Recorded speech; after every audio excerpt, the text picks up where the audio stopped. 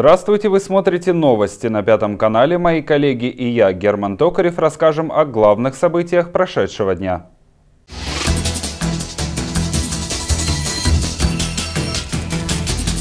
Глава Азовской администрации Владимир Рощупкин оценил санитарное состояние города как неудовлетворительное. Фестиваль национальных культур «Азов. Наш дом родной» объединил сотни азовчан и гостей города. Фотовыставка «Донбасс казачий» открылась в Азовском музее-заповеднике.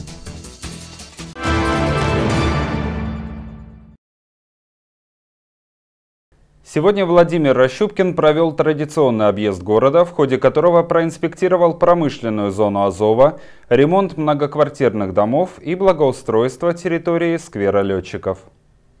Теплая осень радует азовчан комфортной температурой воздуха, а подрядчикам дает возможность продолжить строительные работы.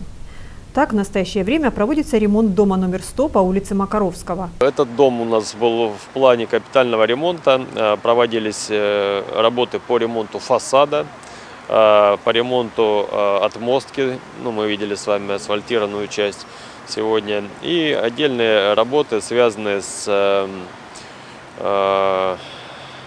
кровлей.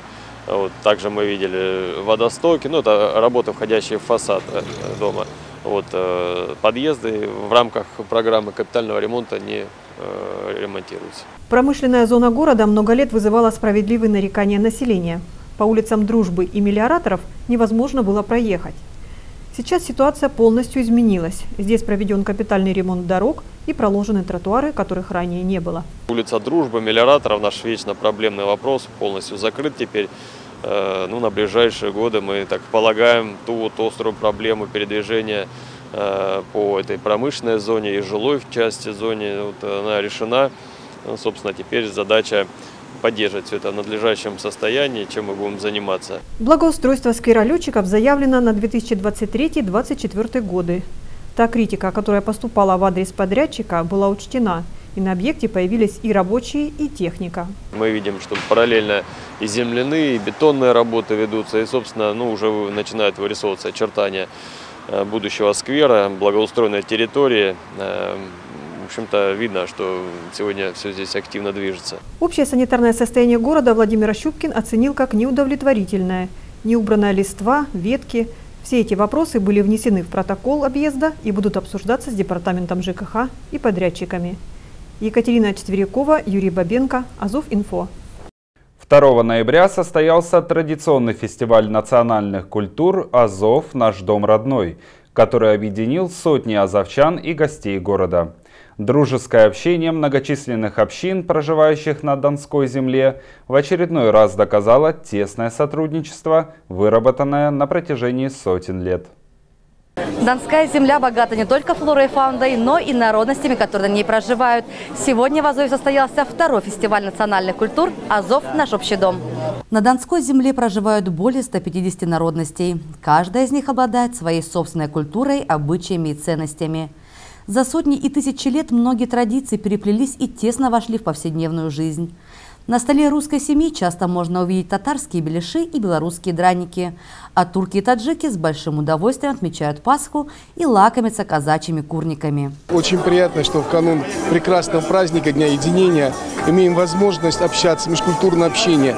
Традиционно армянская диаспора, представители армянской национальности всегда э, гостеприимны и э, рады видеть, э, рады видеть своих друзей, коллег. Мы считаем, что такие праздники объединяют, э, создают вот, не, неповторимую атмосферу дружбы, взаимопонимания, поддержки. Сегодня, как никогда, это очень важно и очень актуально. И мы вдвойне рады, что есть сегодня возможность не только пообщаться, но и э, предоставить, э, вкусить э, прелести э, национальной кухни, потому что этом, я смотрю, представлены все, практически все народности, которые проживают на Азовской земле, и это нас окрыляет. Каждая из присутствующих народностей знакомила гостей праздника со своей национальной кухней и костюмами, рассказывала свою историю и показывала творческие номера, которые раскрывали обычаи общины. Участвуем мы уже второй раз здесь. В прошлом году были, в этом году были. Мы рады взаимодействовать как э, представители одной из национальностей, проживающей на территории Дона, на территории Азовского района. Мы рады взаимодействовать с остальными диаспорами, с административным корпусом. В этом году у нас представлены костюмы Альпов, Визиря, Янычара. Э, и здесь, ну, из статуэток, э, статуэтки султанов ручной работы, это элементы женского ремесла, элементы там орудия, быта, музыкальных инструментов, ну и элементы кухни. Учащиеся школы номер 11 креативно подошли к поставленной задаче познакомить гостей фестиваля с культурой греков. Помимо традиционных национальных блюд, команда подготовила небольшой исторический экскурс с элементами интерактива. Я, Бог Дионис, научил людей традиции встречать гостей. Разбейте, а, пожалуйста. Да. Это древняя традиция. Э, бог Дионисий э, научил людей, как правильно надо веселиться. И, как мы привыкли, быть Чем больше мелких осколков будет, тем у нас все будет хорошо. Больше счастья, больше здоровья. Вот да, он пошел на счастье, да? Да, да, на да, счастье. Да, да, да, Поэтому ножкой можно... И? Ногой, ногой, ногой. На счастье? На счастье, да. О, еще.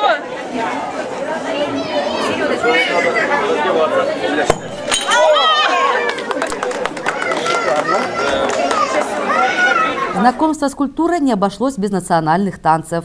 Конечно, тонкости исполнения движений знать всем невозможно, но прикосновение к культуре дарит гамму положительных эмоций.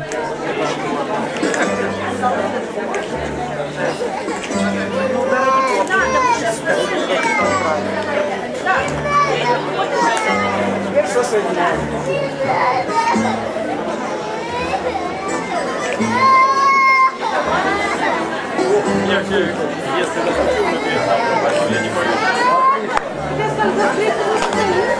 В этом году мы проводим немного видоизмененное мероприятие. Это второй год уже подряд, как фестиваль э, национальных культур. Тоже это в виде э, национальной кухни, костюмов, э, танцев. И мне кажется, очень много гостей сегодня. И Азовский район, и Батайск, и Ростов, и Луганская Народная Республика, Дагестан. Ну, это здорово, то есть э, наша задумка, мне кажется, абсолютно здорово реализуется здесь. И глядя на то настроение, на то, как люди между собой общаются, представители совершенно разных, казалось бы, да, вот народностей, но они общаются как друзья, улыбаются. Мне кажется, что вот мы этим мероприятием своего достигли. Конечно же, после такого изобилия хлеба гостей фестиваля ждали зрелища. Насыщенная концертная программа, включающая в себя красочные номера различных национальностей, поразила своим многообразием. В этом году впервые приняли участие коллективы города-побратима Кизляр Республики Дагестан, а также народный художественный ансамбль «Барвинок» из города Луганска. Ольга Усманова, Владимир Чекунов, Азовинфо. 3 ноября в Азовском музее-заповеднике открылась выставка «Донбасс казачий» известного ростовского фотохудожника Сергея Винявского. Экспозиция является частью исторического проекта, который призван доказать единство жителей Ростовской области и Западного Донбасса, их культуры, традиций и религии. В Азовском музее-заповеднике открылась выставка «Донбасс казачий», на которой представлены художественные фото жизни и быта современного казачества Ростовской области и Донбасса. Хотелось показать жизнь, быт современных казаков. Сейчас 21 век.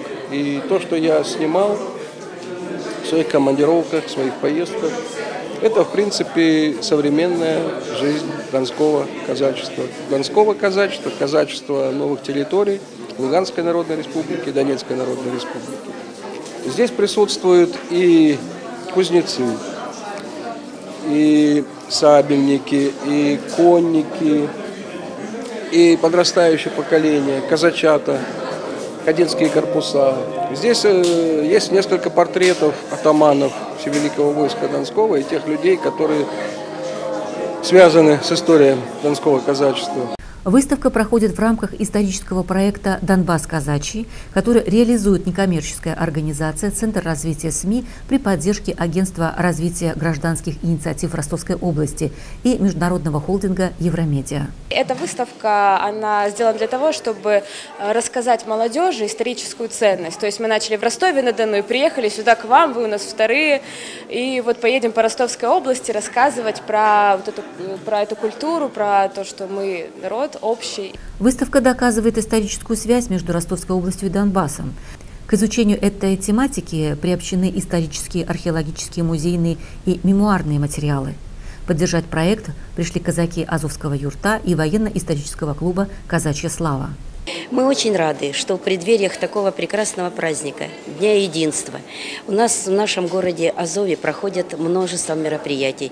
И сегодняшняя выставка – это доказательство еще одного момента единения наших народов, единения наших сердец – единения наших мыслей и наших желаний, помыслов. Мы желаем всем здоровья, мира, особенно мира, мира на всей планете, мира в душе, мира в доме и мира на земле. Экспозиция включает 50 большеформатных работ художника, созданных в разное время года в ходе поездок по городам Ростовской области, Донецкой и Луганской республик. Фотовыставка будет представлена еще в трех городах – Таганроге, Новочеркасске и Шахтах. Людмила Улихина, Валентин Сираж, Юрий Бабенко, Азов-Инфо. При женской колонии номер 18 в Азове открылся магазин, в котором представлены товары производства исправительных учреждений Ростовской области. Цеха обеспечивают необходимой продукцией самих сотрудников и осужденных, а с этого года товары стали доступны и в розничной торговле. В исправительной колонии номер 18 города Азова на протяжении многих лет работает цех по пошиву одежды, собственная мини-пекарня, а также построен небольшой тепличный комплекс. Длительное время производимая продукция использовалась для внутренних нужд, обеспечивая потребности системы и самих заключенных.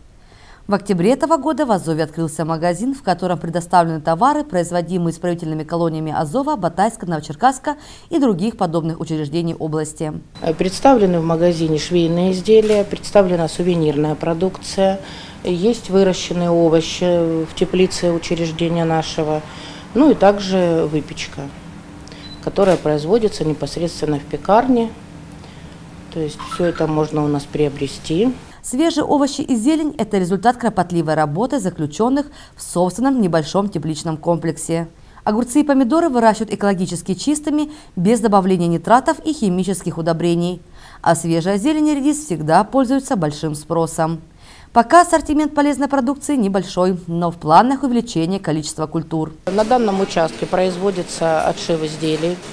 Цикл у нас полный, начиная от раскроя и заканчивая, соответственно, уже готовым изделием. Э, отшиваем продукцию как для собственных нужд, то есть это госконтракты по сотрудникам, по осужденным. Э, в этом году взаимодействовали, вот первый опыт у нас был с кадетским корпусом, с ростовским Николая II.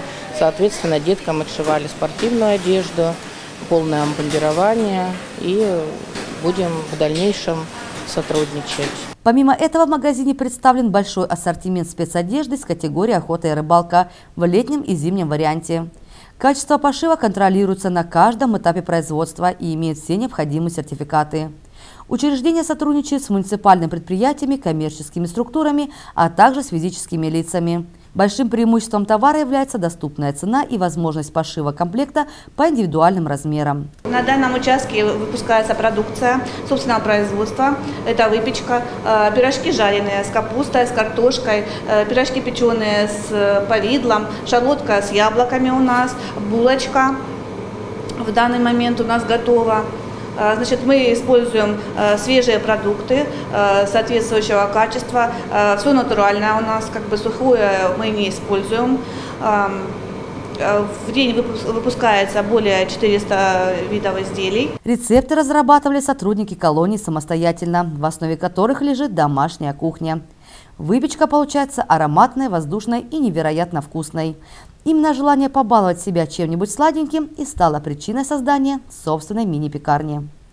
Ольга Усманова, Владимир Чекунов, Азуфинфо.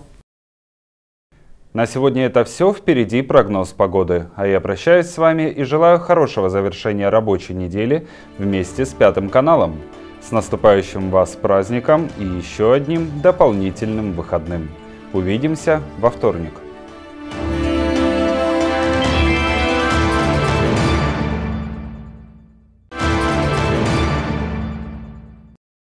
Субботу 4 ноября облачно с прояснениями. Температура днем плюс 18-20, ночью плюс 11-14.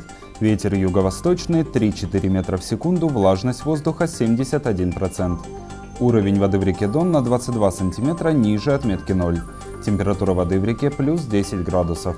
Атмосферное давление 759 миллиметров ртутного столба. В воскресенье 5 ноября облачно с прояснениями. Температура днем плюс 17-19, ночью плюс 11-14. Ветер юго-восточный 4-5 метров в секунду, влажность воздуха 64%. Уровень воды в реке Дон на 22 сантиметра ниже отметки 0. Температура воды в реке плюс 10 градусов. Атмосферное давление 755 миллиметров ртутного столба.